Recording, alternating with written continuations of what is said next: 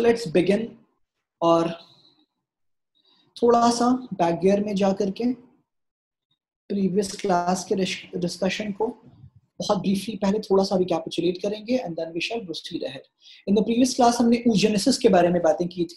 अगर आपने क्लास किया था तो आपको शायद याद हो। oogenesis is a phenomena where the ovum formation takes place in the ovaries of the females. oogenesis के लिए जो बेसिक बातें हमें जाननी है, वो ये है कि oogenesis का प्रोसेस embryogenic stage में ही शुरू हो जाता है। When a female child undergoes the embryonic development in the womb of her mother, जब एक बच्ची अपने माँ के womb में डेवलप हो रही है, उसी स्टेज में ओवरीज के अंदर ओवम बनने का प्रोसेस शुरू हो जाता है बट उसके बाद वो पॉज हो जाता है, वो ठहर जाता है अरेस्ट हो जाता है, और फिर आगे की प्रोसीडिंग जो है वो कंप्लीट तौर पे पुबर्टी के बाद शुरू होती है। बीच में पार्शियल डेवलपमेंट चल रहा होता है। तो हमने डिस्कस किया था कि ऊजेनेसिस को तीन फ़ेज़ में डिवाइड किया जाता है। सबसे पहले मल्टीप्लीकेशन फ़ेज़ फिर ग्रोथ फ़ेज़ फिर मैचुरेशन फ़ेज़ मल्टीप्लीकेशन फ़ेज़ में एक ऊगोनिया का नंबर इंक्रीज होता है माइटोटिक डिवीज़न से। शायद कुछ कुछ बातें आपको याद हो। ऊजेनेसिस के बारे में, जो हमने लास्ट क्लास में देखा था कि एक टू एन मतलब एक डिप्लॉयड सेल से बहुत सारे डिप्लॉयड सेल्स बनते हैं। This process is called the multiplication phase जहाँ पे multiple number of oogonia develop हो जाते हैं। उसके बाद फिर इन उगोनिया में स्टार्ट होता है इनमें मियोसिस नाम का सेल डिवीज़न मियोसिस थोड़ा सा शुरू होकर के रुक जाता है इन प्रोफेज वन मियोसिस दो स्टेप में होता है। ये बात आप पिछले तीन क्लासेस से सुन रहे हैं और ये बात पहले भी आपने पढ़ा होना चाहिए। आप meiosis first and meiosis second meiosis first में एक डिप्लॉइड सेल से दो हेप्लॉइड सेल्स बन जाते हैं। एक डिप्लॉइड सेल से दो हेप्लॉइड सेल की फॉर्मेशन फिर मियोसिस सेकंड इन दोनों हेप्लॉइड सेल्स पे होगा, जिनसे दो दो और हेप्लॉइड सेल्स बनेंगे। तो एक्चुअली में एक मियोसिस कंप्लीट होने पे एक डिप्लॉइड सेल से चार हेप्लॉइड सेल्स की फॉर्मेशन होती है। ऐसा स्पर्मेटोजेनेसिस में भी हमने देखा था। बट ऊजेनेसिस में क्या होगा कि यहाँ पे it's a very energy consuming process due to which due to which यहाँ पे कंप्लीट तौर पे फंक्शनल हैप्लॉइड सेल्स नहीं बन पाते हैं दोनों। तो हमने यहाँ पे डिस्कस क्या किया था कि एक डिप्लॉइड सेल से डिप्लॉइड उगोनिया से दो हेप्लॉइड सेल्स बनते हैं बट एक फंक्शनल होता है, एक होता है नॉन फंक्शनल जिसको फ़र्स्ट पोलर बॉडी बोला जाता है। This is called the primary spermatocyte अब इन प्राइमरी स्पर्मेटोसाइट में फिर से मियोसिस सेकेंड होगा तो फिर बनेगा सेकेंड सॉरी प्राइमरी ऊसाइट क्योंकि ऊजेनेसिस हम लोग पढ़ रहे हैं। प्राइमरी ऊसाइट से फिर बनेगा सेकेंडरी ऊसाइट और फिर सेकेंड पोलर बॉडी तो ये जो दो पोलर बॉडीज बनते हैं, ये ऑलमोस्ट किसी काम के नहीं है apart from some activating factor के अलावा इनका और कोई रोल नहीं है। डायरेक्ट रिप्रोडक्शन के प्रोसेस में इनका कोई रोल नहीं पाया जाता। ठीक है ना? तो ये जो दूसरा हमारा प्राइमरी ऊसाइट सेकेंडरी ऊसाइट बना this actually develops into ovum और ये ओवम फाइनली जो है, ये फर्टिलाइजेशन के लिए प्रिपेयर रहता है। जब स्पर्म के साथ फ्यूज करेगा तो फर्टिलाइजेशन होगी। तो कहानी ऐसी है कि फर्टिलाइजेशन जब होगा तो उसी टाइम पर ये डिसाइड हो जाएगा कि ये जो जाइगोट बना है, ये डेवलप होने के बाद एक मेल ऑर्गेनिज्म या फीमेल ऑर्गेनिज्म में डेवलप होगा। As soon as the fertilization takes place at that very moment it is decided that this developed child will this developed uh, zygote actually will finally uh, develop into a male or a female organism तो ये हम लोग समझेंगे आज अभी यहाँ से हम लोग शुरू कर रहे हैं इस बात को कि ये कैसे डिटरमाइन होगा gender of a child sex of a child और जेंडर ऑफ़ अ चाइल्ड जिसको हम बोलते हैं sex determination so sex determination को समझने के लिए हम लोग सबसे पहले दो इंफॉर्मेशन समझते हैं। Everyone please pay huge attention and recall whatever you have gone through in your class 11th and class 10th regarding this topic. सबसे पहले मैं बता रहा हूँ आपको एकदम ग्राउंड लेवल से, अगर आप भूल भी गए हैं तो nothing to worry but you are needed to be absolutely attentive and alert so please pay attention सबसे पहली बात ये कि every human cell has 46 chromosome. We all know that. हमारे बॉडी में जितना भी सेल है, मेरे नाक का कोई सेल ले लूँ मैं मैं उंगली का कोई सेल ले लूँ, मैं अपने पैर से कोई सेल निकाल लूँ, मैं अपने नेल से ब्लड से कोई भी सेल कहीं से निकाला जाएगा एवरी सेल हैज़ 46 क्रोमोसोम और ये जो 46 क्रोमोसोम होंगे, इन 40 के सेल्स है। इन 46 क्रोमोसोम की कैटेगराइजेशन की जाएगी तो वी विल फाइंड कि these are the two types of cells पहला सेल जो होगा, पहला टाइप उसको बोलते हैं आप ऑटोजोम और जो दूसरा टाइप है that's called allosome autosome and allosome are the two types of cells that are found in humans मतलब within every cell, these are the two types of chromosomes actually which are found within a cell. Please थोड़ा दोबारा से मेरी बात को सुने और थोड़ा अटेंटिविटी के साथ। मैंने आपसे बोला कि एवरी सेल हैज़ 46 क्रोमोसोम और इन 46 क्रोमोसोम को हम कैटेगराइज करेंगे तो दो पार्ट में कर सकते हैं। एक टाइप होता है ऑटोजोम क्रोमोसोम का एक टाइप है ऑटोजोम और दूसरा टाइप है एलोजोम 46 में से जो 44 क्रोमोसोम होंगे ना 44 क्रोमोसोम दीज आर ऑटोजोम और दो क्रोमोसोम मतलब a pair of chromosome is called allosome या सेक्स क्रोमोसोम ध्यान से सुनिए मेरी बात। ऑटोजोम ये मेल और फीमेल दोनों में सेम होते हैं। जबकि एलोजोम ये मेल और फीमेल में अलग अलग होते हैं। ये बात थोड़ा ध्यान देकर के सुनिए और अच्छे से समझिए। देखो आप यहाँ पे अपनी स्लाइड पे कि ये जो आपको सिंबल दिख रहा है ना, ये सिंबल ये है मेल का सिंबल ये एक जनरलाइज सिंबल है जो मेल को रिप्रेजेंट करता है रादर मेल गैमेट या स्पर्म को शो कर रहा है। एक ऐसा एक सर्कुलर स्ट्रक्चर और उसके ऊपर ऐसे एक एरो ये साइन दिख रहा है आपको। This is a sign of male this represents male ये कॉमन जनरलाइज सिंबल है। मतलब ये सिंबल आपको कई बार ना इंटरनेशनल एयरपोर्ट्स वगैरह पे दिखेगा। बहुत जगह। बहुत से कंट्रीज़ में यूरोपियन कंट्रीज़ में। मतलब क्या है ना कि जैसे कि मान लो इंग्लिश में लिखा है मेल फीमेल लाइन है, कहीं लाइन लगना है मेल का लाइन फीमेल का लाइन या फिर लाइक वॉशरूम है रेस्ट रूम है, उसमें सिंबल होते हैं मेल के फीमेल्स के अलग अलग होते हैं। तो अब इंग्लिश में M A L E male लिखा है या उस कंट्री के रीजनल लैंग्वेज में लिखा है तो ये सारे लोग नहीं जानते जो इंटरनेशनल ट्रैवलर्स हैं।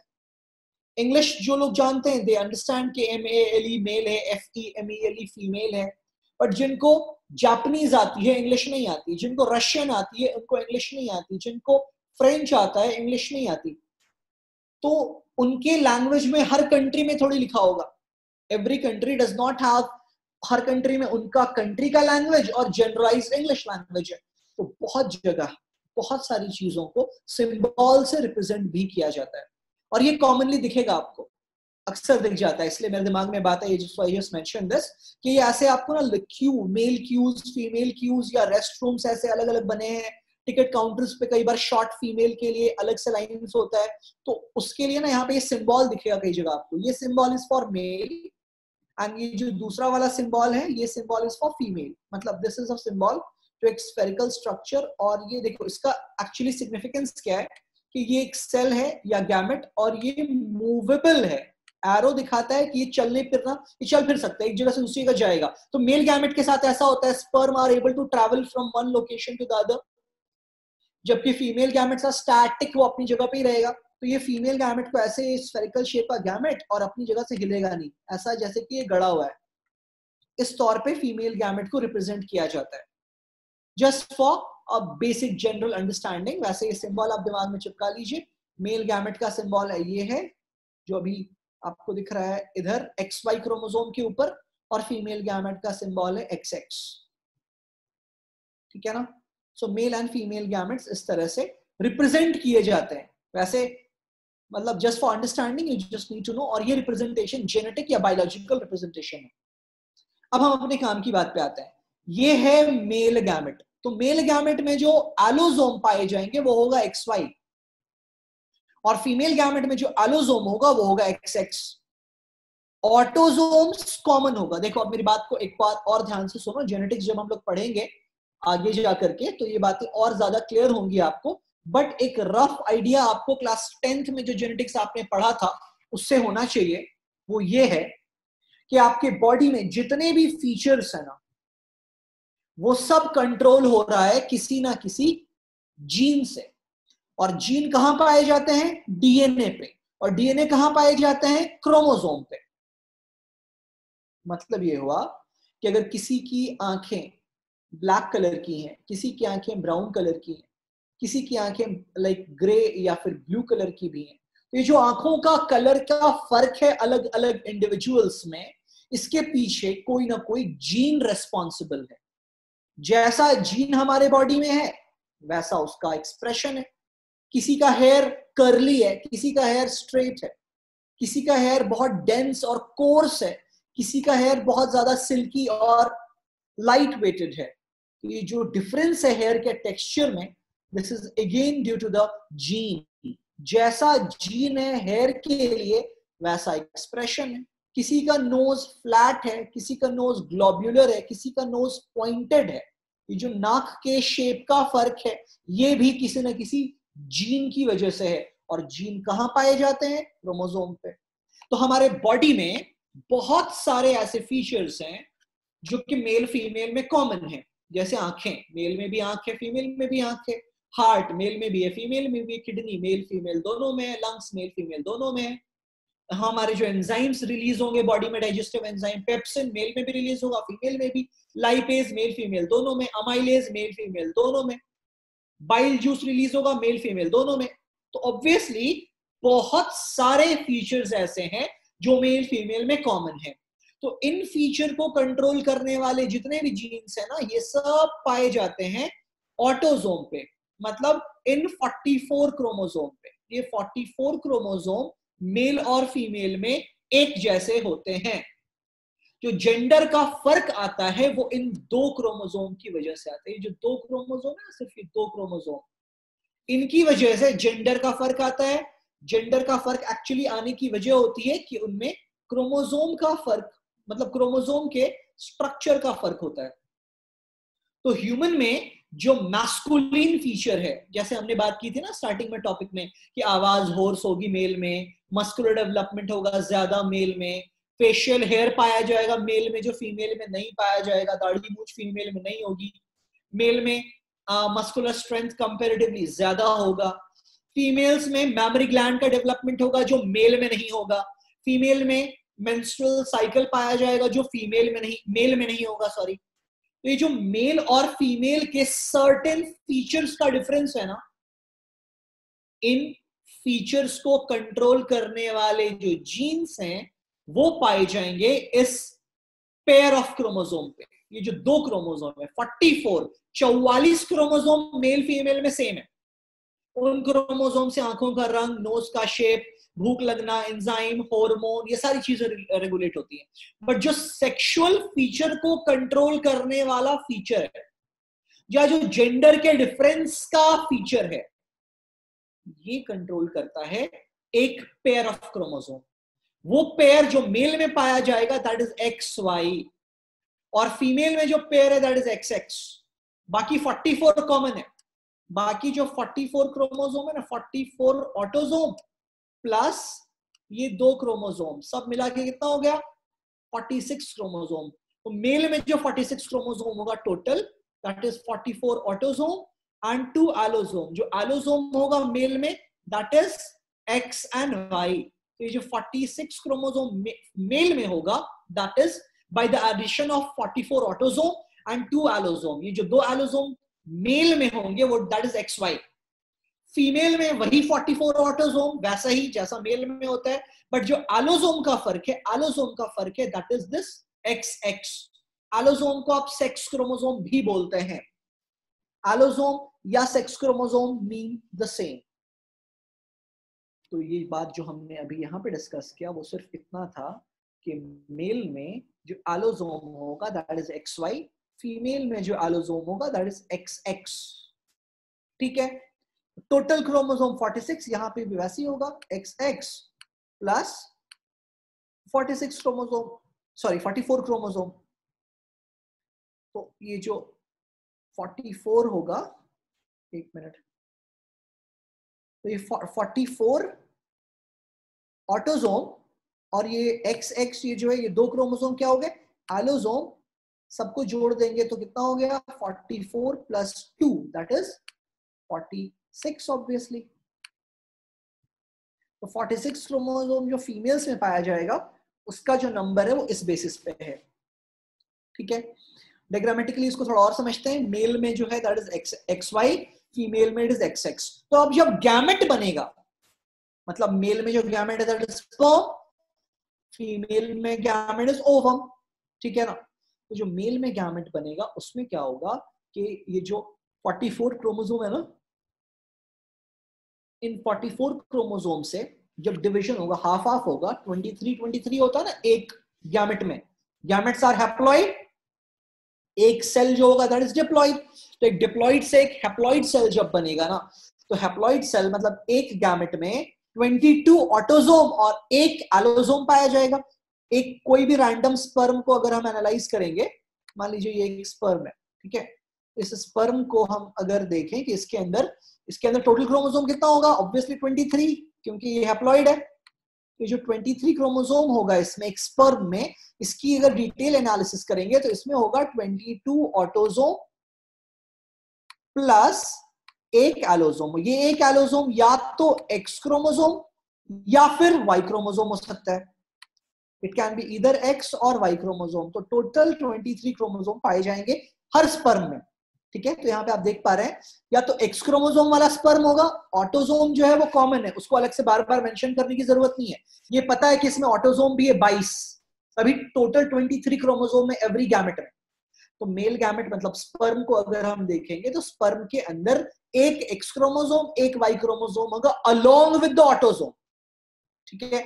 बट फीमेल गैमेट जो ओवम बनेगा चूँकि दोनों एक्स क्रोमोसोम है फीमेल में तो जब डिवाइड होगा 46 का तो 22 plus X twenty plus X तो ovum always will have X chromosome only Y की कोई गुंजाइश नहीं है अब कहानी ऐसी है कि जब ओ ओवम बन गया ओजेनेसिस कंप्लीट हो गया ओवुलेशन हुआ ओवुलेशन मतलब ओवम का ओवरी से निकल करके फैलोपियन ट्यूब में आना दैट इज़ कॉल्ड ओवुलेशन कहाँ आता है वो एग्जैक्टली exactly, आपको याद है? लास्ट क्लास में भी हमने बात की थी। एम्प्यूला और इस्थमस के बीचों बीच जंक्शन पे। तो एम्प्यूलरी इस्थमिक जंक्शन पे आएगा ओवम और ओवम जो वहाँ प्रेजेंट है that will have a X chromosome obviously always मतलब हर मेंस्ट्रुअल साइकिल में पुबर्टी में जब भी मेनार्क से लेकर के मेनोपॉज तक जितने बार भी ओवम आएगा हमेशा ओवम जब भी आएगा it will have an X chromosome अब ये इस बात पे जेंडर इस बात पे डिपेंड करेगा। बच्चा पैदा लड़का होगा कि लड़की वो इस बात पे डिपेंड करेगा कि ये एक्स क्रोमोसोम वाला स्पर्म जाके ओवम को फर्टिलाइज कर रहा है या फिर वाई क्रोमोसोम वाला। मान लीजिए कि अगर जैसे कि यहाँ से यहाँ पे आपको एरो के तौर पे शो किया गया कि अगर एक्स क्रोमोसोम वाला यहाँ पे मान लो इसको ये, ये स्पर्म है ठीक है लंबा टेल है इसमें और इसमें क्रोमोसोम जो है वो एक्स है।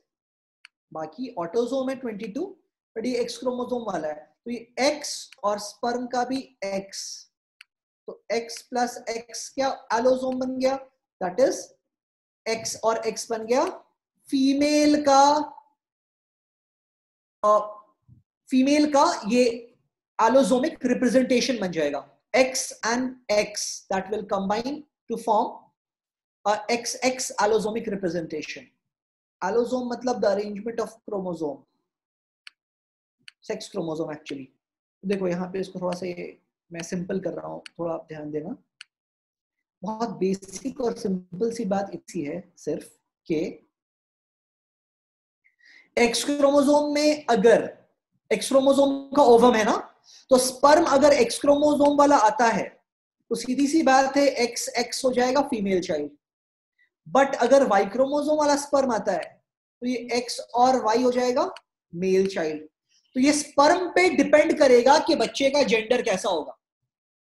मतलब ये पूरी तरह से फादर पे डिपेंड करता है कि बच्चे का जेंडर मेल है या फीमेल है।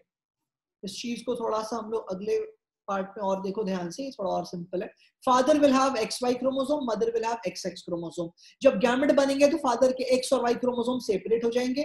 और मदर का एक्स एक्स क्रोमोसोम जो होगा वो भी सेपरेट हो जाएगा। लेकिन मदर में जब भी ओवम आएगा, पूरे लाइफ साइकिल में तो ovum will always have an X chromosome only तो ये तो तय बात है कि ओवम के पास एक्स क्रोमोसोम है। अब जो स्पर्म आकर के ओवम को फर्टिलाइज करेगा, वो दो टाइप का हो सकता है। या तो एक्स क्रोमोसोम कैरी करने वाला स्पर्म आएगा, या तो वाई क्रोमोसोम कैरी करने वाला स्पर्म आएगा। अगर वाई क्रोमोसोम वाला स्पर्म आके एक्स क्रोमोसोम वाले ओवम के साथ फर्टिलाइज करेगा तो कॉम्बिनेशन क्या बना? एक्स वाई और एक्स वाई कॉम्बिनेशन किसका होता है? सन या मेल चाइल्ड का बेटा पैदा होगा अगर वाई क्रोमोजोम वाला स्पर्म जाकर के फर्टिलाइज कर रहा है ओवम को तो। बट अगर एक्स क्रोमोसोम वाला स्पर्म जा रहा है तो वहाँ पे ऑब्वियसली ओवम का पहले से एक्स क्रोमोसोम खुद का है। ये स्पर्म भी एक्स क्रोमोसोम लेकर के गया। एक्स और एक्स कॉम्बिनेशन किसका बन जाएगा? बेटी या डॉटर पैदा होगी फीमेल चाइल्ड पैदा होगी। अगर एक्स क्रोमोसोम वाला स्पर्म जाके फर्टिलाइज करेगा ओवम को तो। ये बहुत बेसिक और सिंपल सी बात है, इसकी थियोरी जल्दी से हम लोग पढ़ते हैं। यहाँ से पढ़ना शुरू करेंगे आप हर एक पॉइंट को अटेंटिविटी के साथ ध्यान देकर के पहला पॉइंट है sex of a baby is determined during fertilisation during fertilisation ये तय हो जाएगा कि बच्चा पैदा होने के बाद लड़का या लड़की बनेगा। इट्स नॉट सो कि आठवें, नौवें महीने के बाद ये डिसाइड होगा। The moment sperm fuses with the ovum जिस दिन कॉपुलेशन हुआ उसी दिन अगर फर्टिलाइजेशन हो गई तो उसी दिन ये डिटरमाइन हो जाएगा कि gender of the child will be a male और फीमेल ठीक है ना? Next point next point please पढ़िए आप ध्यान से साथ साथ अपने स्क्रीन पे आपकी नज़र, आपका ध्यान और अटेंशन सब कुछ होना चाहिए। Sex is determined by the sex chromosome present in zygote. Sex chromosome in other word is called allosome. ये बात याद रखना। सेक्स क्रोमोसोम या फिर एलोसोम एक ही बात है don't get confused So sex, sex is determined by the sex chromosome present in the zygote. The human contain two set of chromosome. Kya kya? Autosome and sex chromosome. Sex chromosome in better words is called allosome. So every human has two set of chromosome. Autosome and allosome. The sex chromosome present in human female is XX or male may XY. So all female gamete मतलब ova has 22 autosome and only one X chromosome क्योंकि they overall have 23 chromosome तो 23 chromosome क्योंकि haploid होते हैं ना gametes तो 23 chromosome में से 23 में से 22 ऑटोसोम और एक एलोसोम स्पर्म के साथ भी ऐसी है कि sperm produce by male has 50% will be having X chromosome और बाकी 50% sperm will be having 22 autosome with Y chromosome. आप प्लीज़ स्क्रीनशॉट लेते चलिएगा for better detail understanding of the topic और पर्टिकुलरली जब आपको रिवीजन की ज़रूरत पड़ेगी तो। कुल मिला के कहानी ये हुई कि जब गैमेट बनेगा तो गैमेट में मेल गैमेट में एक्स और वाई दोनों क्रोमोसोम पाए जाएँगे। फीमेल में हमेशा एक्स क्रोमोसोम ही होगा। ठीक है? ओके अब आप यहाँ पे समझिएगा थोड़ा ध्यान से। Fusion of sperm with Y chromosome अगर स्पर्म जो वाई क्रोमोसोम वाला है the fusion of sperm with Y chromosome that fusion with ovum चूँकि ovum always has X chromosome तो फिर क्या बनेगा? मेल क्योंकि कॉम्बिनेशन हो जाएगा एक्स वाई तो मेल बेबी बनेगा एक्स वाई वाला। और अगर स्पर्म एक्स क्रोमोसोम वाला है, और वो ओवम के साथ फ्यूज करके, साथ, यहाँ पे बनेगा एक्स वाई एक्स वाई मतलब मेल एक्स एक्स मतलब female so zygote carrying X X chromosome develop into female and with X Y chromosome develops into male X X से फीमेल की फॉर्मेशन एक्स वाई से male की formation यहाँ पे भी आप देख पा रहे हैं इस कॉम्बिनेशन uh, को। ये साइन यहाँ पे भी दिखाया गया ये साइन है मेल का और ये साइन है फीमेल का। मेरे ख्याल से बहुत दिक्कत की कोई बात इसमें है नहीं। जैसे कि एक जाइगोट जाइगोट हैज़ 46 क्रोमोसोम ठीक है ना? जाइगोट बनता कैसे है? दो गैमेट के फ्यूजन से। मेल गैमेट और फीमेल गैमेट का फ्यूजन होगा तो जाइगोट बनेगा। मेल गैमेट ला रहा है 23 क्रोमोसोम फीमेल गैमेट के पास भी है 23 क्रोमोसोम अब इन 23 में से 22 ऑटोसोम है और एक एलोसोम है। सेम बात ओबम के साथ भी एप्लीकेबल है उसके पास भी 22 ऑटोसोम है और एक एलोसोम है। जब फ्यूजन होगा तो कॉम्बिनेशन हो जाएगा। जुड़ जाएँगे ना ये 22 टू 22 ऑटोसोम और मेल गैमेट के और फीमेल गैमेट के भी 22 ऑटोसोम मिलकर बन गया 44 ऑटोसोम और दोनों एलोसोम एलोसोम भी जुड़ जाएगा कॉम्बिनेशन में एक पेयर बन जाएगा। तो एक्स और एक्स है तो फीमेल का मतलब ये पेयर बन जाएगा एक्स एक्स जिससे जाइगोट का डेवलपमेंट टू फीमेल चाइल्ड होगा। और अगर वाई क्रोमोजोम वाला स्पर्म जा रहा है तो फिर वहाँ पे मेल चाइल्ड बनेगा। मतलब ये पूरी तरह से मेल पे डिपेंड करता है। मेल पार्टनर या हस्बैंड पे डिपेंड करता है कि जेंडर ऑफ़ द चाइल्ड कैसे डिटरमाइन होता है। क्लियर है बात? फाइन इनफ फर्टिलाइजेशन हो गई जाइगोट बन गया। अब आगे क्या? जब जाइगोट बन गया तो फिर अब होगा इसका क्लीविएज स्टार्ट क्लीविएज का मतलब ब्रेकडाउन होता है, टूटना। मतलब एक सेल है जाइगोट जाइगोट टूटेगा, एक से दो दो से चार चार से आठ आठ से डबल डबल सोलह, thirty two, sixty four, one twenty eight, double होता चला जाएगा। पढ़े आप, पहला पॉइंट है यहाँ पे। जाइगोट फ्रॉम एस्थमस जो ओविडक्ट या फैलोपियन ट्यूब में है, वहाँ से यूट्रस की तरफ़ बढ़ेगा डिवाइड करते करते और ये डिवीज़न होगा माइटोटिक डिवीज़न माइटोसिस होगा इसमें। माइटोटिक डिवीज़न कैसा होता है? इक्वेशनल डिवीज़न होता है मतलब कि डिप्लॉइड से दो डिप्लॉइड सेल्स बनते हैं। जबकि मियोसिस में क्या होता है? डिप्लॉइड से हैप्लॉइड सेल्स बनते हैं। ठीक है ना? तो पहला point zygote from the isthmus moves to the uterus यहाँ पे माइटोटिक डिवीज़न होगा। फ़र्स्ट क्लीविएज इन 36 आवर्स 36 घंटों में पहली बार डिवाइड करना स्टार्ट होगा, ठीक है? सेम डे डिवीज़न स्टार्ट नहीं हुआ सेम डे मैच्योरेशन हो रहा होता है जाइगोट का। फिर एक सेल से दो दो से चार, फिर चार से आठ, फिर सोलह डबल होना शुरू हो रहा है। और हर एक सेल का नाम क्या होगा? ब्लास्टोमियर तो हम बोलेंगे चार ब्लास्टोमियर बन गया, आठ ब्लास्टोमियर बन गया, ऐसे करके, ठीक है? ऐसे बन जाएँगे, अभी लाखों ब्लास्टोमियर बनेंगे धीरे धीरे करके। तो ये पहला सेल था जाइगोट, ये दो बना तो ये जाइगोट नहीं बोलेंगे, ये नहीं बोलेंगे दो जाइगोट है, क्या बोलेंगे? एक जाइगोट से दो ब्लास्टोमियर बन गया। अब दोनों ब्लास्टोमियर में फिर से माइटोसिस होगा तो हम बोलेंगे दो ब्लास्टोमियर से चार ब्लास्टोमियर बन गया। चार का डिवीज़न होगा तो आठ बन गया ब्लास्टोमेयर ठीक है ना? जब आठ से सोलह ब्लास्टोमेयर तक पहुंचेगा स्टेज तो उसका नाम होगा morula this is called morula और मॉर्यूला बड़ा हो रहा है, एक जाइगोट था जाइगोट से दो ब्लास्टोमेयर बने, फिर चार, फिर आठ, फिर सोलह। अब ये ब्लास्टोमेयर काफ़ी बड़े हो रहे हैं। अब ये ब्लास्टोमेयर जो है, ये फैलोपियन ट्यूब में ये कहानी चल रही थी ना? क्योंकि फर्टिलाइजेशन कहाँ हुआ था? फैलोपियन ट्यूब में। ओवम आया फैलोपियन ट्यूब में प्रेजेंट था। फालोपियन ट्यूब में कहाँ पे? एम्पिलो और इस्थमस के जंक्शन पे। तो वहीं पे ओवम आया, ओवम सॉरी, स्पर्म आया, ओवम वहीं आके रिलीज़ हुआ था। उस ओवम से आके स्पर्म का फ्यूजन हुआ, फिर क्या हुआ? फर्टिलाइजेशन। फर्टिलाइजेशन के बाद क्या बना? जाइगोट बना। जाइगोट का फिर क्लीविएज डिस्कस कर रहे हैं। मतलब एक सेल से टूट के दो, फिर डबल फिर डबल फिर डबल। कैसे? एक सिंगल सेल से एक बड़ा सा चाइल्ड बन जाएगा। इस बात को हम लोग डिस्कस कर रहे हैं। मतलब अब प्रेगनेंसी के बारे में हम बातें कर रहे हैं और प्रेगनेंसी के विद इन क्या एक्टिविटीज़ होंगी वूब के अंदर और बच्चे की डेवलपमेंट कैसे होगी? This is being talked about so pay proper heed and attention. Okay.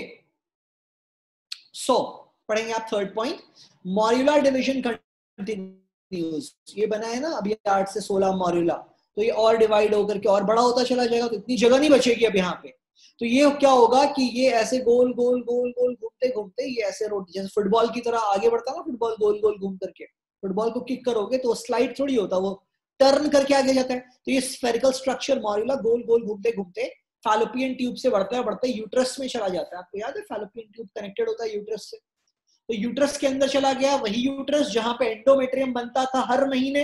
Progesterone बनवाता था ना एंडोमेट्रियम का लेयर क्यों बनता था कि एक दिन जब प्रेगनेंसी होगी तो यहाँ पे डेवलपमेंट का काम आसानी से हो पाएगा। पढ़ना शुरू करें fourth point please morula division continues morula में डिवीज़न चल रहा है और हॉलो बॉल बन जाएगा। अंदर से खोखला होगा और नया नया सेल बनता जा रहा है। द ब्लास्टोमियर्स जो होंगे ना, इतने सारे blastomeres the blastomeres in in the blastocyst are arranged into two layer ये वाला डायग्राम भी आगे दिखाऊँगा मैं आपको। ये जो मॉर्यूला बनते बनते ब्लास्टोसिस्ट बन जाएगा। बहुत सारे मॉर्यूलास मतलब मॉर्यूला के अंदर बहुत सारे ब्लास्टोमियर का एक अरेंजमेंट है, जिसको आप बोलते हैं ब्लास्टोसिस्ट। ब्लास्टोसिस्ट में outer layer is called trophoblast inner layer is called inner cell mass ये स्टेज अब जाकर के एंडोमेट्रियम में गड़ जाएगा। ये स्टेज का भी डायग्राम में दिखाऊँगा आपको। ध्यान से भी देखो आप आगे। अगला, पहले अगला पॉइंट पढ़ लीजिए। The trophoblast cells attaches to the endometrium endometrium की दीवार में इंटरनल वॉल में, ऊपर से आकर के ऐसे आके यहाँ गट जाएगा। और भी एंडोमेट्रियम का लेयर चढ़ता जाएगा इसके ऊपर। जिससे क्या होगा कि ये जो ट्रोफोब्लास्ट है ना, ये आकर के एम्बेडेड हो जाएगा। गड़ जाएगा और इसके ऊपर एंडोमेट्रियम के लेयर बन रहे हैं। ठीक है? So the inner cell mass gets differentiated into the embryo inner cell mass दो दो दो, देखो, दो स्टेज था, ध्यान से यहाँ पे सुनो। एक था ये ट्रोफोब्लास्ट और एक है इनर सेल मास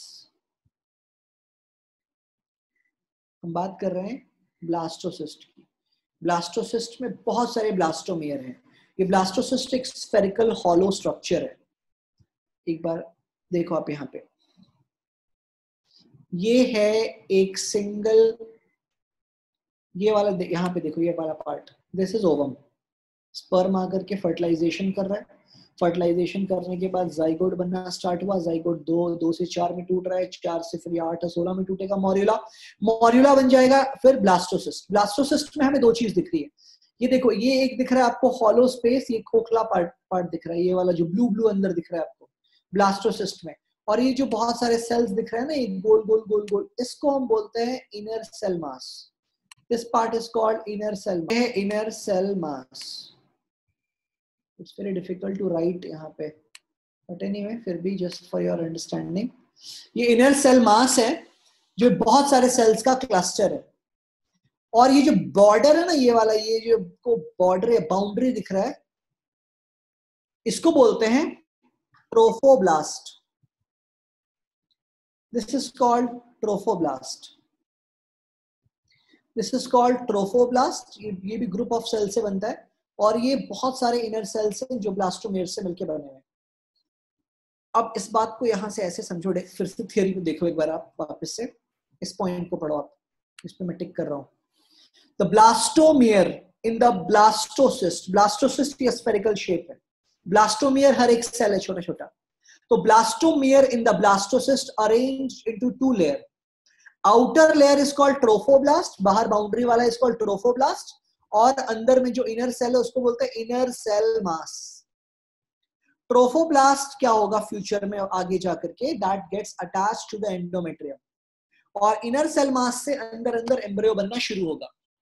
तो inner cell mass is concern with the formation of embryo और trophoblast is concern with the trophoblast is concerned with the attachment of the overall structure to the wall of uterus. ये जो पूरा structure है ना, ये uterus की दीवार से इसके अटैचमेंट में ट्रोफोब्लास्ट हेल्प करेगा। और जो एम्ब्रियो एक्चुअली बनेगा, वो बनेगा इनर सेल मास से। इस पूरे प्रोसेस को बोलेंगे इम्प्लांटेशन इम्प्लांटेशन मतलब कि गड़ जाना गच जाना। इम्प्लांट हो जाना। इम्प्लांट मतलब किसी चीज़ का अंदर इंसर्ट होकर ऊपर से पूरा कवर हो जाना। सिंपल भाषा में गड़ जाना। मिट्टी में मैंने बीज बो दिया तो that's called implantation of the seed आपके हड्डियों में अगर प्लेट डाला जाता है स्क्रू डाला जाता है, कई बार हड्डी फ्रैक्चर होने के बाद तो बोलते हैं इम्प्लांटेशन ऑफ़ स्क्रूज तो इम्प्लांटेशन किसी चीज़ को एम्बेडेड कर देना, कहलाएगा। ठीक है? तो बात ऐसी है कि फर्टिलाइजेशन हुआ। फर्टिलाइजेशन में स्पर्म और ओवम का फ्यूजन हुआ। स्पर्म ओवम फ्यूज हुए तो क्या बना? जाइगोट बना। अब जाइगोट का क्लीविएज हो रहा है मतलब जाइगोट का डिवीज़न हो रहा है कि एक सेल से दो दो से चार चार से आठ, ये डबल डबल डबल हो रहा है। हर एक पार्ट को, हर एक नए बने हुए सेल को बोलते हैं ब्लास्टोमियर। जब ये आठ से सोलह ब्लास्टोमियर थे तो ये पूरा स्फेरिकल शेप स्ट्रक्चर था, उसका नाम था मॉरिला। ये मॉरिला और डेवलप करना स्टार्ट कर रहा है। मॉरिला जनरली आकर के इम्प्लांट हो जाएगा बट प्रॉपर मतलब नीचे आ जाएगा morula but proper implantation blastocyst का होगा। ब्लास्टोसिस्ट मॉर्यूला का भी एडवांस स्टेज है। और डिवीज़न होने के बाद ब्लास्टोसिस्ट होता है। जैसे आठ से सोलह ब्लास्टोमियर को मॉर्यूला बोलते हैं आप। जब ये नंबर 64, 128, 256 के आसपास हो जाएगा तो उसको आप ब्लास्टोसिस्ट बोलेंगे। मतलब ब्लास्टोसिस्ट में 250 के आसपास ब्लास्टोमियर है। तो ये जो 250 ब्लास्टोमियर है उसमें से ऐसा है कि 100 के आसपास ब्लास्टोमियर ने एक सर्कल या बना रखा है, एकदम ये सर्कुलर स्ट्रक्चर स्पीयर बना के रखा है, जो अंदर से खोखला है। और उस खोखले स्ट्रक्चर में बाकी डेढ़ सौ के आसपास छोटे छोटे सेल्स हैं, जो अंदर एक कोने में जमा है, उनको इनर सेल मास बोल रहे हैं आप। तो ट्रोफोब्लास्ट और इनर सेल मास ये दो स्ट्रक्चर से मिलकर बनता है ब्लास्टोसिस्ट ब्लास्टोसिस्ट को आप यू लिख सकते हैं कि blastocyst is equal to trophoblast plus inner cell mass ठीक है? Okay okay. आप समझें इस बात को कि ब्लास्टोसिस्ट में जो इनर सेल मास है वो एम्ब्रियो बनेगा, वही कल को एम्ब्रियो बनेगा, वही कल को डेवलप्ड बच्चा है। और जो ट्रोफोब्लास्ट है, ब्लास्टोसिस्ट का, ये अटैचमेंट के लिए एक स्ट्रक्चर जो प्रोडक्शन प्रोवाइड करेगा।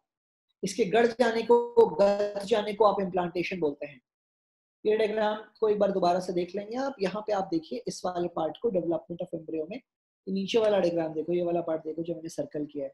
ये जो ये सेल्स दिख रहे हैं आपको येलो येलो अंदर अंदर, इसका नाम क्या है? इसका नाम है इनर सेल मास और ये जो बॉर्डर है बाउंड्री है ना, ये वाला पार्ट ये जैसे एक ट्रोफोब्लास्ट दिख रहा है आपको ट्रोफोब्लास्ट एक ट्रोफोब्लास्ट दो ट्रोफोब्लास्ट फिर तीन, फिर चार, फिर पाँच छह सात, आठ. ऐसे बहुत सारे ट्रोफोब्लास्ट का एक स्फेरिकल लेयर है, जिसके अंदर इनर सेल मास मौजूद है.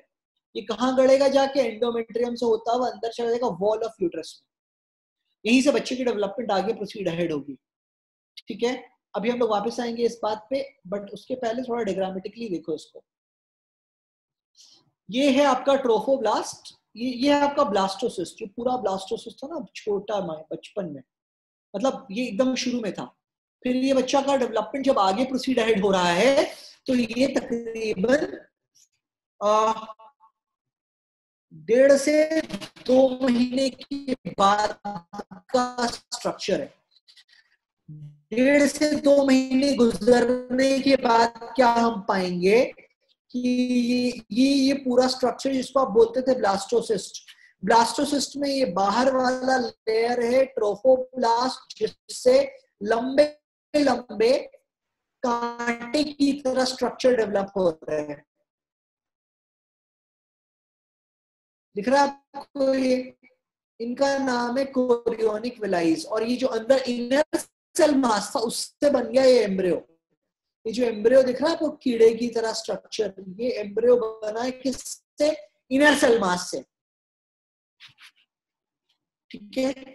अब ये जो लंबा लंबा फिंगर लाइक प्रोजेक्शन दिख रहा है ना, ये जाकर के ऊपर प्लासेंटा में जुड़ेगा। इसको प्लासेंटल वेलाइज बोल रहे हैं आप। और फिर शुरू शुट्रियम से मिल रहा था। और उसके बाद ये इसके बॉडी के साइज़ के हिसाब से न्यूट्रिशन मिलने के लिए माँ का न्यूट्रिशन बच्चे को जाएगा प्लासेंटा के थ्रू ये प्लासेंटल टिश्यू है। प्लासेंटल टिश्यू से एक लंबा सा कॉर्ड बनेगा जिसके बारे अभी मोटा है, लेकिन ये जैसे जैसे ग्रोथ होगी, पतला हो जाएगा। ये अम्बलिकल कॉर्ड है। अम्बलिकल कॉर्ड हम सब के बॉडी में, हमारे नेवल नाभि है ना आपके एब्डोमेन में? ये नाभि जो होता है, नाभि।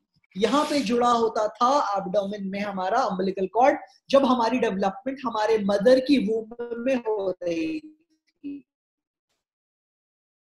तो एक बच्चे के पेट के पे पर्टिकुलरली जो छेद है, जिसको आप नेवल बोलते हैं इंग्लिश में नाभि बोलते हैं आप, नाभि बोलते हैं हिंदी में, ये वो स्ट्रक्चर है, ये वो पार्ट है जहाँ पे अम्बलिकल कॉर्ड जुड़ा होता है। दिख रहा है आपको? अभी जो मैंने बनाया आप इसको। और बच्चे को न्यूट्रिशन पहुंचेगा, माँ का न्यूट्रिशन शुरू शुरू में महीने, सवा महीने, डेढ़ महीने तक तो अम्बलिकल कॉर्ड सॉरी हाँ अम्बलिकल कॉर्ड नहीं बनेगा तो तब तक जो न्यूट्रिशन है वो एंडोमेट्रियम से मिलेगा। एंडोमेट्रियम बना था ना, हर महीने बनता था मेंस्ट्रुअल साइकिल में टूट के निकल जाता था। तो एंडोमेट्रियम जो प्रोजेस्ट्रॉन बनाता था, ये प्रेगनेंसी में बहुत एक्टिव है तो प्रोजेस्ट्रॉन का नाम ही है प्रेगनेंसी हार्मोन तो इनिशियल स्टेज ऑफ़ प्रेगनेंसी में यही आपकी बॉडी को न्यूट्रिशन प्रोवाइड करेगा जब बच्चा डेवलप हो रहा है तो। बट लेटर ऑन वो न्यूट्रिशन थोड़ा कम पड़ेगा। तो ज़्यादा न्यूट्रिशन के लिए क्या होगा कि इस बच्चे बच्चे में पाया जाएगा क्या कि ज़्यादा न्यूट्रिशन की क्वांटिटी के लिए प्लासेंटा माँ का न्यूट्रिशन प्लासेंटा के थ्रू बच्चे में जाएगा। एक बार दिखाता हूँ मैं आपको अम्बलिकल कॉर्ड ये अम्बलिकल कॉर्ड है। ये माँ का टिश्यू है प्लासेंटा और ये है अम्बलिकल कॉर्ड ये बच्चे पैदा होने के बाद ये अम्बलिकल कॉर्ड कट कर दिया जाता है, ऐसे। और कुछ पार्ट बॉडी में ही रह जाता है। एक न्यूली बॉर्न चाइल्ड को आपने कभी देखा हो अगर? एकदम दो दिन, चार दिन पहले पैदा हुआ बच्चा, या सेम डे पैदा हुआ, सुबह आपने अभी देखा शाम में तो आप पाएँगे कि उसके पेट के पास उसके एब्डोमेन में थोड़ा वूंड होता है पट्टी बंदी होती है, क्योंकि वहाँ घाव है। कौन सा घाव है? वो घाव है अम्बलिकल कॉर्ड को कट करने का। बच्चे को जब माँ के पेट से बाहर निकाला जाएगा तो ऑब्वियसली अम्बलिकल कॉर्ड को कट कर दिया जाएगा। और फिर ये घाव धीरे धीरे करके सूखेगा, चार दिन, पाँच दिन, हफ़्ते, दस दिन में भी सूख सकता है डिपेंड करता है हीलिंग के प्रोसेस पे। तो ये अम्बलिकल कॉर्ड है।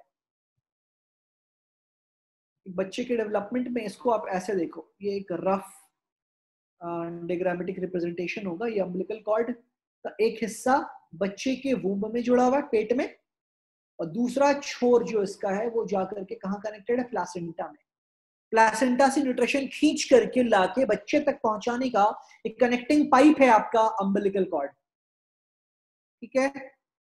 तो दिक्कत? नहीं होनी चाहिए दिक्कत आई होप दिक्कत होगी तो आप पूछिएगा। इस स्लाइड का स्क्रीनशॉट ले लीजिए, जल्दी से फास्ट और मैं आपको दे रहा हूँ दो मिनट का टाइम इसको पढ़ने के लिए। पूरा दो मिनट दे रहा हूँ मैं। एग्जैक्ट 120 सेकंड होंगे आपके पास। ऊपर से लेके नीचे तक सारा पार्ट आप पढ़ लीजिए। टू मिनट्स के लिए मैं आपको पूरा टाइम दे रहा हूँ। It's a break for you for two minutes and just break आपका नहीं है, आपको पढ़ना है। मतलब मैं रुक जाऊँगा, मैं नहीं बोलूँगा दो मिनट तक कुछ भी। और आप ऊपर से नीचे तक उसको पढ़िए। ओके सो पढ़ लिया आपने I hope let's try to discuss this quickly now देखो यहाँ पे क्या है ना, कि कुछ कुछ बेसिक बातें यहाँ पे मेंशन है। कोरियोनिक विलाइज ये कोरियोनिक विलाइज कौन सा स्ट्रक्चर है? तो एक मिनट जो आपको यहाँ पे नाम दिख रहा है प्लासेंटल विलाई लेबल किया हुआ? जो प्लासेंटल विलाई है ना, ये प्लासेंटल विलाई तब बन गया जब ये विलाइज जाकर के प्लासेंटा से जुड़ गए। जब प्लासेंटा से ये नहीं जुड़ा था तो ये जब छोटा छोटा लेंथ में था तो इसी का नाम कोरियोनिक विलाइज था। जब लंबा हो गया और ऊपर प्लासेंटा है, ऊपर का टिश्यू ये वाला प्लासेंटा का टिश्यू है जो लंबा लंबा आपको फाइब्रस स्ट्रक्चर दिख रहा है तो ये placental villi was called chorionic villi और ये कोरियोनिक विलाई वही स्ट्रक्चर है जो ट्रोफोब्लास्ट से बना है। ये है ना यहाँ पे ट्रोफोब्लास्ट, देखो अपनी स्क्रीन पे आप जिसको मैंने सर्कल किया। ट्रोफोब्लास्ट क्या था? ये स्फेरिकल शेप स्ट्रक्चर के सेल्स को ट्रोफोब्लास्ट कह रहे थे हम लोग राइट तो जो ट्रोफोब्लास्ट है, इस ट्रोफोब्लास्ट में ये विलाइज या कांटे की तरह जो स्ट्रक्चर है this was called chorionic villi पढ़े आप यहाँ पे। Chorionic villi finger like projections on the trophoblast is the chorionic villi villi surrounded by the maternal tissue and uterine tissue ये विलाई वो है जो मैटरनल ब्लड और यूट्राइन टिश्यू से सराउंडेड होता है। Villis and uterine tissue interdigitated structural and functional unit है between the fetus and maternal maternal body maternal tissue fetus is the embryo जो डेवलप हो रहा है। और मैटरनल बॉडी का पार्ट है प्लासेंटा दोनों के बीच में कनेक्शन आ जाएगा कोरियोनिक वेलाइज से। ये कोरियोनिक वेलाइज जो प्लासेंटा को छू जाएँगे तो इसी का नाम हो जाएगा प्लासेंटल वेलाई तो यहाँ पे जो आपको लेबलिंग दिख रहा है, ये आपके एनसीआरटी बुक का डायग्राम है कि प्लासेंटल विलाई यहाँ है। ये प्लासेंटल विलाई है and that is connected to the placenta तो ये इनिशियल स्टेज में कोरियोनिक विलाई था। इनर सेल मास जो अंदर अंदर है, उसका तीन पार्ट होगा एक्टोडर्म मीजोडर्म और एंडोडर्म इसी से ये जर्मिनल लेयर्स बनेंगे। जैसे एक्टोडर्म से वो सारा पार्ट बनेगा एम्ब्रियो का जो हार्ड है।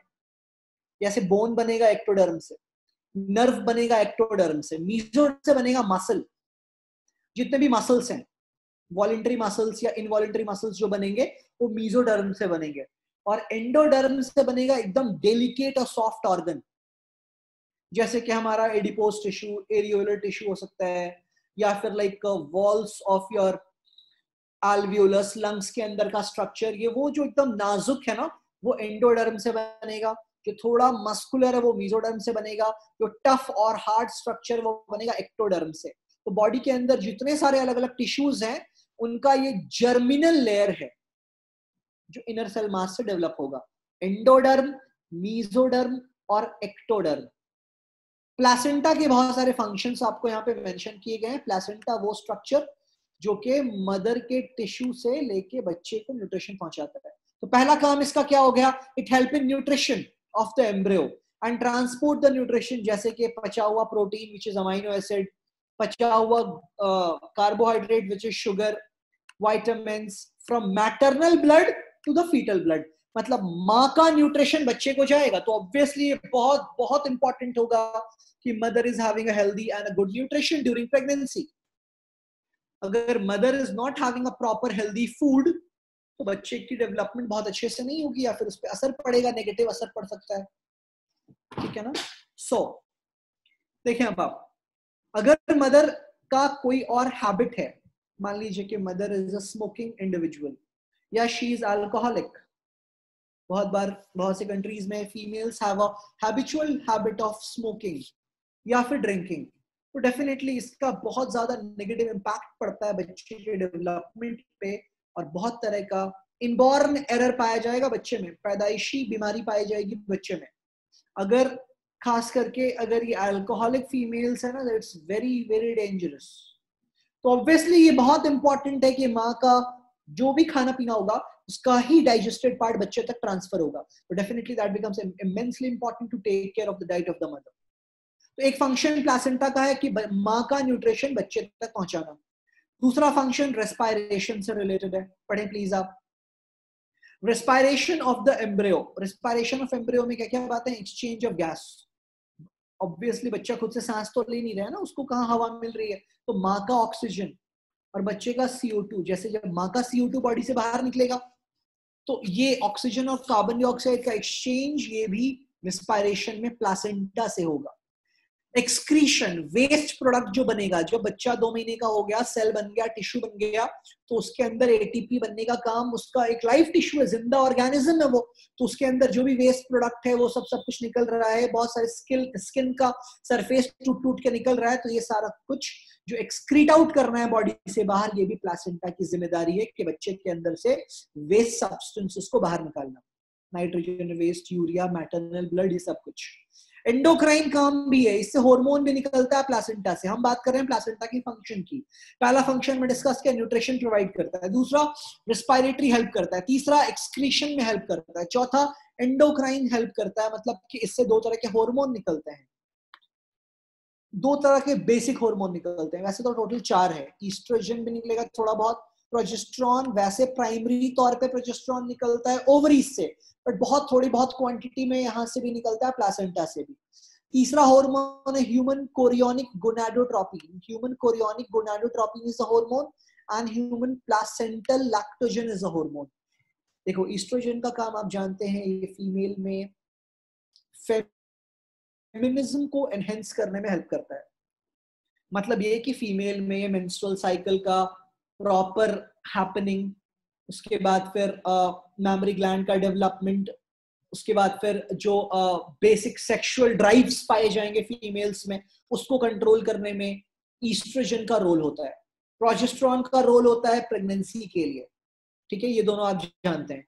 ह्यूमन कोरियोनिक गोनाडोट्रोपिन का काम ये होता है कि प्रॉपर पोजिशनिंग ऑफ़ चाइल्ड को मेंटेन रखना।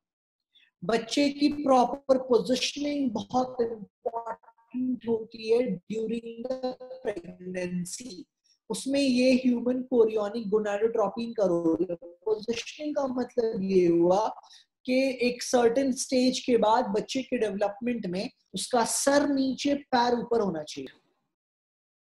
This is the correct position of child ये एक प्रेगनेंसी का फोटोग्राफ है। जहाँ बच्चा अपने वूम अपने मदर के वूम में डेवलप हो रहा है, ये आपको जो कॉर्ड दिख रहा है, ये अम्बलिकल कॉर्ड है, जो उसके वूम मतलब उसके नेवल से कनेक्टेड है, एक एंड उसका, और उसी कॉर्ड का दूसरा छोर, दूसरा एंड कहाँ कनेक्टेड है? प्लासेंटा से। सर नीचे, पैर ऊपर। ये position is the correct position correct का मतलब आइडियल पोजीशन ये होगा बच्चे का। अगर इस पोजीशन में कोई गड़बड़ी होती है, गड़बड़ी का मतलब ये हुआ कि लाइक किसी रीजन से सर ऊपर पैर नीचे हो गया। फॉर एग्ज़ाम्पल मान लीजिए एक प्रेगनेंसी के दौरान कोई फीमेल स्लिप करके गिर जाती है। या फ़िज़िकल एक्सर्जन बहुत होता है और बहुत ज़्यादा ख्याल नहीं रखा गया है, ये छठे, सातवें महीने से ही। बैडमिंटन खेल रही है फीमेल या फिर like she is she is not taking proper care of the posture सोने का पोस्चर का ख्याल नहीं रखा जा रहा है। तो कई रीजन हो सकते हैं जिससे बच्चे की पोजिशनिंग हेड नीचे लेग्स ऊपर वाला पोजिशन जो आपको स्क्रीन पे दिख रहा है, कि गड़बड़ हो सकता है। अगर ये पोजिशन गड़बड़ हुआ ना किसी भी वजह से तो बच्चे का नेचुरल या नॉर्मल डिलीवरी नहीं हो पाएगा। क्योंकि नॉर्मल डिलीवरी होने के लिए जो पाथवे है वो ये है। ये पाथवे है। मतलब ये ये ये वजाइनल ओपनिंग है। वजाइनल ओपनिंग के थ्रू एक मिनट। ये जो पार्ट दिख रहा है वो सर्विक्स है। ये ये प्रेगनेंसी जब स्टार्ट हो जाती है ना पंद्रह बीस दिन में तो ये प्लग होके ब्लॉक हो जाता है। और फिर जब लेबर पेन होता है मतलब लेबर पेन का मतलब है कि प्रेगनेंसी के कंप्लीशन पे जब बच्चे का डेवलपमेंट हो जाता है, आपने मूवीज़ में देखा होगा तो सडन पेन स्टार्ट होता है फीमेल को। ये पेन सिंबल है सिग्निफिकेंस है इस बात का कि अब बच्चे को बाहर डिलीवर करने का टाइम आ गया है और बच्चा बाहर डिलीवर हो सकता है। ठीक है ना? तो ये जो आपको दिख रहा है ना, ये सर्वाइकल रीजन ये एक्चुअल रीजन है जहाँ से बच्चा बाहर आएगा। नेचुरल तौर पे अगर आएगा तो जिसको आप नॉर्मल या नेचुरल डिलीवरी बोलते हैं। तो ये तब मुमकिन होगा जब ये पोजीशन है। हेड नीचे लेग्स ऊपर। पर अगर पोजीशन गड़बड़ हुआ मतलब कोई पोजीशन हुआ, बच्चे की पोजीशन ऐसे ना हो के ऐसे हो गई या ऐसे हो गई तो बच्चा नेचुरल तौर पे बाहर नहीं आ पाएगा। फिर वहाँ पे करना होगा क्या? सिजेरियन डिलीवरी सिजेरियन डिलीवरी का मतलब क्या हुआ? सिजेरियन डिलीवरी का मतलब हुआ, जिसको आप आम भाषा में बोलते हैं कि बच्चा ऑपरेशन से पैदा हुआ है। हम लोग बात करेंगे थोड़ी देर में उस बारे में अभी बट पहले हम लोग जहाँ पे डिस्कशन कर रहे थे, उस बात को कंप्लीट करते हैं। So let's get back to this slide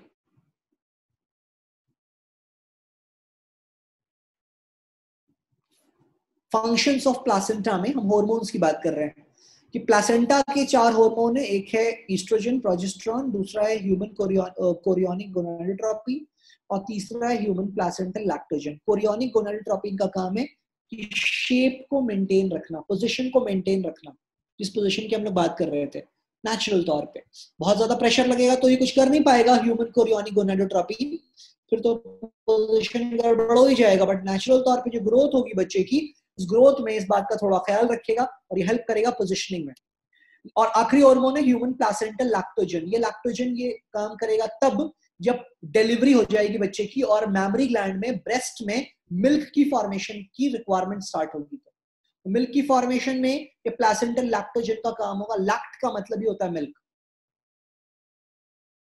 fine तो we will be talking and discussing about that in a while थोड़ी देर में हम लोग उस बारे में बात करेंगे। चौथा फ़ंक्शन प्लासेंटा का एंटीबॉडीज डेवलप करता है ये, जाके बहुत सारे एंटीबॉडीज माँ का एंटीबॉडी बच्चे में चला जाता है तो बच्चे में इम्यून सिस्टम बेहतर होता है। ठीक है मदर को अगर कुछ टैबलेट्स या दवाइयाँ दी जाती हैं आखिरी स्टेजेस में तो वो पास ऑन होता है बच्चे तक, और बच्चा जब पैदा होगा तो थोड़ा स्ट्रॉन्ग और इम्यून पैदा होगा। छठा फ़ंक्शन है ग्लाइकोजन स्टोर होता है। ग्लाइकोजन स्टोर्ड कार्बोहाइड्रेट जिससे एनर्जी बनती है बच्चे में। जब बच्चा पैदा होगा तो बहुत ताकत उसका बर्बाद होता है। इनिशियल 24 घंटे तक वो बहुत छटपटाएगा, हाथ पैर मूव करेगा और बहुत खाए पिएगा कुछ नहीं। फिर वो थोड़ा जब थोड़ा मेच्योर होगा, उसके बाद वो माँ के मिल्क पे अपना न्यूट्रिशन डिराइव करना स्टार्ट करेगा। बट इनिशियल कुछ घंटों तक उसके बॉडी में ग्लाइकोजन स्टोर रहता है पैदा होने से पहले। और ये स्टोरेज ऑफ़ ग्लाइकोजन भी प्लासेंटा करवाता है। और सातवां फ़ंक्शन है इफ़ेक्टिव बैरियर बहुत सारे केमिकल्स या जर्म्स को बच्चे तक नहीं पहुँचने में भी प्लासेंटा काम करता है। एक बार दोबारा पढ़ेंगे आप फ़ंक्शंस ऑफ़ प्लासेंटा पहला है न्यूट्रिशन दूसरा रेस्पायरेशन तीसरा एक्सक्रेशन चौथा हार्मोन प्रोडक्शन पांचवा डिफेंस करना एंटीबॉडीज से डेवलप करवा के। और छठा है ग्लाइकोजन स्टोरेज एनर्जी के लिए। और सातवां इफ़ेक्टिव बैरियर बैरियर मतलब like sort of strength provide कर, किया करेगा और वो अंदर नहीं आने देगा बहुत सारी कम जैसे कि मदर को थोड़ा बहुत मान लो पेट गड़बड़ हो गया मदर का लास्ट आठ, आठवें महीने में, साढ़े आठवें महीने में प्रेगनेंसी खत्म होने वाली है। मदर किसी और रीजन से बीमार पड़ गई। कुछ उसने ऐसा खाना पीना खा लिया जिससे वो बीमार पड़ गई वोमिटिंग हो रही है उसको मान लीजिए। तो वोमिटिंग तो स्टमक से हो रही है ना। बच्चा यूट्रस में है। पीपल गेट कंफ्यूज बिटवीन पेट एंड यूट्रस पेट, बच्चा पेट में नहीं होता, बच्चा कहाँ होता है? बच्चा यूट्रस में होता है एब्डोमेन के लोअर एब्डोमेन में। और वोमिटिंग किसी को हो रही है तो वो कहाँ से हो रहा है? स्टमक से हो रहा है। वोमिटिंग की कई वजह है। मान लीजिए कि कुछ बीमार, बीमारी हो गई, किसी भी तरह की बीमारी हो गई पैथोजन घुस गया बॉडी में। टाइफाइड हो गया मदर को। लास्ट स्टेज में बहुत खतरनाक बात है वैसे तो ये, होना नहीं चाहिए। अगर होता है तो दिक्कत है एक्चुअली बहुत अच्छी बात नहीं है बट फिर भी, मान लीजिए मदर को सातवें महीने में किसी वजह से टाइफाइड हो गया। टाइफाइड होता है गंदा खाना पानी से। गंदा, बहुत हाइजीनिक खाना पीना नहीं होगा तो टाइफाइड हो सकता है। माँ को टाइफाइड हो गया सातवें महीने में या आठवें महीने में तो मदर बीमार है, बुखार है। टाइफाइड का सिम्टम है वॉमिटिंग है, कमज़ोरी लग रही है ऑब्वियसली ये जो स्टेज था, वहाँ मदर को बहुत हेल्दी रहना चाहिए था बट अनफॉर्चुनेट किसी वजह से बीमार हो गई माँ। तो माँ के ब्लड में बहुत सारा बैक्टीरिया है टाइफाइड का बैक्टीरिया जिसका नाम है साल्मोनेला टाइफी सैल्मोनेला टाइफी नाम का बैक्टीरिया आपके बॉडी में टाइफाइड नाम की बीमारी कॉज करता है। तो माँ के खून में इस, ये बैक्टीरिया है, तभी माँ के बॉडी के अंदर सिम्टम दिखाई दे रहे हैं टाइफाइड के। बट ये प्लासेंटा इस जर्म को, इस पैथोजन को बच्चे तक ट्रांसफ़र होने से रोकेगा। ये भी इसका फ़ंक्शन है सातवें पॉइंट में। ये इफ़ेक्टिव बैरियर कॉज कर देगा। समझ आ रही बात है आपको? चलो, आगे बढ़ते हैं। ये आपको पढ़ना है। दोबारा तिबारा। ये एक बार में सुन करके समझ आने वाली बातें नहीं है। आपको इसको अंडरस्टैंड करना होगा। जब तक आप दोबारा तिबारा नहीं पढ़ेंगे it will be all in main ये डिग्राम देखें आप। यहाँ पे शुरुआत हुई। एम्ब्रियो आठ हफ़्ते का। फिर ये बारह हफ़्ते का एम्ब्रियो सोलह हफ़्ते का एम्ब्रियो सोलह हफ़्ते का मतलब तीन महीना। एक महीने में चार हफ़्ते ना? तो तीन महीने होते होते इतना मतलब ये ढाई से तीन महीना होते होते अब ये इंसान का बच्चा लगेगा। एक से सवा महीने में ना ये ऑर्गेनिज्म लगेगा लगेगा नहीं ह्यूमन शेप बिल्कुल भी। कीड़ा मकोड़ा जैसा लगेगा ये छोटा सा। वो बड़ा होगा, थोड़ा और बड़ा होगा तो फिर हेड का डेवलपमेंट बोन्स की ऑसिफिकेशन ये सारे एक्टिविटीज़ प्रोसीड रहेड होंगे। 24 महीना मतलब 24 हफ़्ते sorry 24 weeks that will be छ महीने हो जाएँगे हाफ़ डेवलपमेंट हो गया, ठीक है ना? ऐसे करते करते जब डेवलपमेंट आगे बढ़ती चली जाएगी तो फिर ये 40 वीक्स के आसपास प्लस माइनस हो सकता है दिन, जिसको आप नौ महीना बोलते हैं 280 दिन के आसपास का टाइम लगेगा पूरे वक्त में बच्चे के डेवलपमेंट में। ये आखिरी स्टेज है बच्चे का, जब हाथ, पैर सब एक्टिव हो जाएँगे और मूवमेंट स्टार्ट हो जाएगी। आखिरी स्टेज में आखिरी पंद्रह बीस दिन बच्चा बहुत ज़्यादा एक्टिव रहेगा वूम के अंदर और बहुत एक्टिविटी करेगा। उस एक्टिविटी को बोला जाता है फीटल इंजेक्शन रिफ्लेक्स मतलब ये कि फीटस ऐसे रिफ्लेक्स शो करेगा। इसको आप मूवीज़ में आपने सुना है कई बार कि लाइक एक्टिविटी ऐसी उसको उसके लिए जगह छोटा पड़ रहा है ना तो पैर हिट कर रहा है मदर के वॉल में यूट्रस की दीवार में। तो आपको महसूस हो रहा है, लात मारा लात मारा, ऐसा महसूस हो रहा है थोड़ा थोड़ा लाइक कोई एक्टिविटी हो रही है बॉडी के अंदर, ऐसा मदर फील करेंगी। बाहर से वो टच करेगा तो उसको भी फील होगा कुछ ना कुछ एक्टिविटी क्योंकि आखिरी वीक में बहुत एक्टिव हो गया बच्चा मतलब बच्चा आपका बहुत हेल्दी है, कोई दिक्कत की बात नहीं है। अल्ट्रासाउंड होता रहेगा बच्चे का हर कुछ कुछ महीनों पे पूरे प्रेगनेंसी के ड्यूरेशन में। अल्ट्रासाउंड होने का मकसद ये है कि बच्चे की डेवलपमेंट कितनी प्रॉपरली चल रही है, कितना अच्छे से बच्चा डेवलप हो रहा है। पोजिशनिंग की कोई गड़बड़ी तो नहीं है। बच्चा अम्बलिकल कॉर्ड में उलझ तो नहीं गया। इन सारी बातों का एनालिसिस होगा। आखिरी स्टेज का अल्ट्रासाउंड ये डिसाइड करेगा कि प्रेगनेंसी जो बच्चे की कंप्लीट होगी मतलब बच्चे का प्रेगनेंसी कंप्लीट होना और बच्चे का माँ के बॉडी से बाहर आना, इस प्रोसेस को बोला जाता है parturition P A R T U R A T I O N parturition मतलब डिलीवरी जिसको आप आम भाषा में बोलते हैं। तो पार्चुरेशन के लिए बहुत एसेंशियल है कि नेचुरल पार्चुरेशन अगर नेचुरल पार्चुरेशन होगा तो बहुत छोटा और सिंपल प्रोसेस है आधे घंटे का. दैट्स ऑल मतलब जिसको आप नेचुरल डिलीवरी बोलते हैं। हाफ़ एन आवर लगेगा मैक्सिमम इस बच्चे को यूट्रस से, माँ के वूम से बाहर निकालने में। और mother will be absolutely fine but अगर नेचुरल डिलीवरी नहीं होती है, देखो ये पोजिशनिंग होगी ऐसी नेचुरल हेड नीचे लेग्स ऊपर ये है वजाइना और ये जो आपको दिख रहा है, ये सर्वाइकल कनाल है. उसका हेड बाहर आएगा पहले, फिर बाकी का बॉडी पार्ट बाहर आएगा. जब बच्चा पूरा बाहर आ जाएगा तो उसके अम्बलिकल कॉर्ड को कट कर दिया जाएगा प्लग करके कट कर दिया जाएगा. बाकी प्लासेंटा भी उखड़ के बाहर आएगा पीछे पीछे फिर प्लासेंटा डिस्पोज ऑफ़ होगा, वो फेंक दिया जाएगा ऑब्वियसली वो डिस्पोज किया जाएगा, जैसे मेडिकल डिस्पोजल होता है प्रॉपर तौर पे। बच्चा आपका हेल्दी है, अगर नेचुरल डिलीवरी हुई है तो ये ऑब्वियस सी बात है। ज़्यादातर केसेस में अगर बच्चा हेल्दी है तो नेचुरल डिलीवरी है तो बच्चा हेल्दी होता है। बट अगर हम लोग ये मानते हैं कि ये अगर नेचुरल डिलीवरी नहीं हो पाया किसी भी वजह से अच्छा ठीक है, अभी वो बात आएगी थोड़ी सी। पहले आप देखो यहाँ पे। यहाँ पे सारे पॉइंट्स पढ़ेंगे आप स्लाइड पे छह पॉइंट्स हैं। जल्दी जल्दी से पढ़ेंगे प्लीज़ सारे लोग अटेंटिविटी के साथ। फ़र्स्ट मंथ में क्या होगा? कि हार्ट डेवलप हो जाएगा, ये बहुत इंपॉर्टेंट बात है। पहले हफ़्ते में बच्चे का हार्ट डेवलप हो जाएगा और ये दिखेगा बहुत क्लियर क्लियर कि ये बच्चा ज़िंदा है, ये डॉक्टर एनालाइज कर सकता है। हार्ट की फॉर्मेशन फ़र्स्ट मंथ में हो जाएगी। ठीक है? स्टेथोस्कोप से भी टच करके सुना जा सकता है। धक धक धक धक, बच्चे का भी हार्ट बीट सुनाई देगा, जो कि बहुत ज़्यादा फास्ट शुरू में स्लो होगा, बहुत स्लो होगा शुरू में। जैसे नॉर्मल इंसान का सेवेंटी टू टाइम्स होता है बट इनिशियल पंद्रह दिन, बीस दिन, महीने भर के बाद का पंद्रह दिन मतलब एक महीने में तो हार्ट बना। बनने के बाद पंद्रह, बीस दिन तक मतलब डेढ़ महीने की प्रेगनेंसी जब रहेगी तो हार्ट बीट होगा बहुत स्लो बीस बार, पच्चीस बार, एक मिनट में। बट जब यही बच्चा डेवलप होके बड़ा होने लगेगा ना तो ये नॉर्मल रेट से ज़्यादा होगा। 80 90 के आसपास इसका हार्ट बीट आपको सुनाई देगा सातवें महीने आठवें महीने में। सेकेंड पॉइंट पढ़े सेकेंड मंथ में लिम्स एंड डिजिट्स बन जाएँगे। दूसरा महीना पूरा होगा तो लिम्स हाथ और पैर। देखो, पहले बॉडी का पूरा का पूरा एक ढांचा होगा। ऐसा होगा कि एक मास्कुलर स्ट्रक्चर है पूरा का पूरा, बस। उससे फिर हाथ कट के ऐसे करके अलग होगा सेपरेट होगा हाथ। पैर बीच से कट के दो बनेंगे। वरना एक कनेक्टेड स्ट्रक्चर था। बीच से गरार होगा और दो स्ट्रक्चर बनेगा लेग्स का। हाथ भी ऐसे सेपरेट होगा। ठीक है? फिर उंगलियाँ सेपरेट होंगी और अंदर अंदर का हड्डी स्ट्रॉन्ग होगा ऑसिफाई होगा। बोन ऑसिफिकेशन ठीक है ना? पढ़ेंगे आप इस पॉइंट को थर्ड पॉइंट को। सेकेंड मंथ में क्या होगा? लिम्स एंड डिजिट्स बनेंगे। डिजिट्स मतलब उंगलियाँ fingers end of twelve week मतलब फ़र्स्ट ट्राइमेस्टर तीन महीना हो चुका है। बारह हफ़्ता होते होते तीन महीना हो जाएगा तो सेकेंड मंथ से शुरू होगा और पूरा एक महीना तक ये एक्टिविटी चलेगी। मेजर ऑर्गन बन जाएगा ज़्यादातर लिम्स एक्सटर्नल जेनाइटल ऑर्गन ये सब कुछ तीन महीने में बन जाएगा। हार्ट बन चुका था एक ही महीने में किडनी लिवर ये सब तीन महीना होते होते डेवलप हो जाएगा।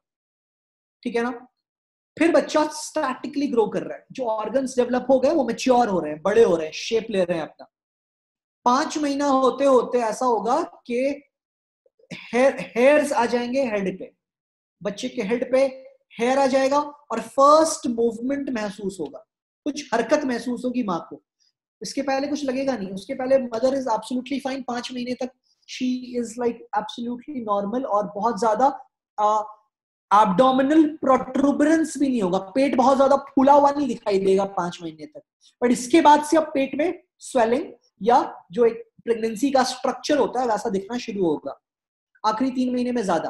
पहला तीन महीना कहलाता है फ़र्स्ट ट्राइमेस्टर अगला तीन महीना कहलाता है सेकेंड ट्राइमेस्टर और आखिरी तीन महीना कहलाता है थर्ड या लास्ट ट्राइमेस्टर ठीक है? तीन तीन महीने का ट्राइमेस्टर है। So the end of 24 week second trimester में body is covered with fine hair head eyelids separate आँख खुल जाएगा, छह महीना होते होते आई लैशेस बन जाएँगे, और बच्चा अब लाइट भी महसूस करेगा जो कि मदर के एपिथेलियल टिश्यू से होता हुआ अंदर तक जा रहा है। मतलब रिकमेंड किया जाएगा बाय द डॉक्टर्स के बाद धूप में भी बैठे थोड़ी देर तक। अर्ली मॉर्निंग सुबह सुबह की किरणें जाए बॉडी के अंदर तो ये रोशनी यूटरस के अंदर भी जाएगी। मतलब अगर माँ का जो बेली है, माँ का जो वूम्ब है, ये लाइट को फेस करके रहे तो ताकि रोशनी पड़े तो बच्चे तक भी रोशनी जाएगी। इससे आई साइट अच्छा होगा बच्चे का। आदत बनेगी अंदर से ही, आँखों के अंदर rod cells cone cells develop होंगे।